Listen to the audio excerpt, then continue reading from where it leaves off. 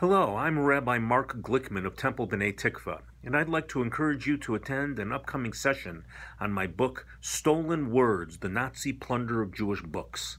The session, which is part of the 2016 Jewish Book Festival, will take place at 6:30 p.m. on Wednesday, December 7th at the Calgary Jewish Community Center.